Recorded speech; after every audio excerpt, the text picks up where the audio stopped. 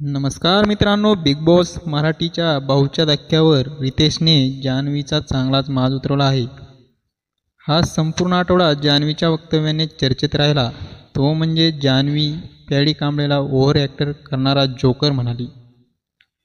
Over acting करत तू इथपर्यंत पोचला असे म्हणत जान्हवीने पॅडीचा अपमान केला आणि याच मुद्द्यावरून रितेशने जान्हवीची मोठी शाळा घेतली आहे.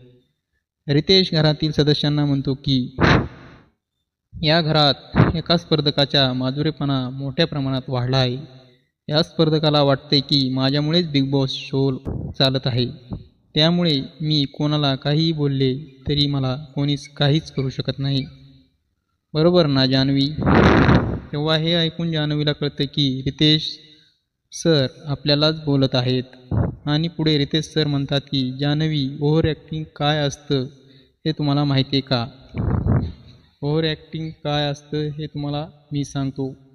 तुम्ही पॅडीला ज्याप्रमाणे ओव्हर ॲक्टर बोलला आणि नंतर त्याची रडून माफी मागितली ती होती ओव्हर ॲक्टिंग. किती निर्लज्जपणाने तुम्ही जाणून बुजून चूक करता आणि नंतर रडून माफी मागता.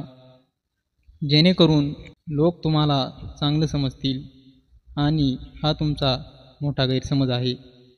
कारण ज्याप्रमाणे तुम्ही वर्षाताईची आणि पॅडीचा अपमान केला आहे त्यामुळे प्रेक्षक तुमच्या तोंडात सेन घालत आहेत.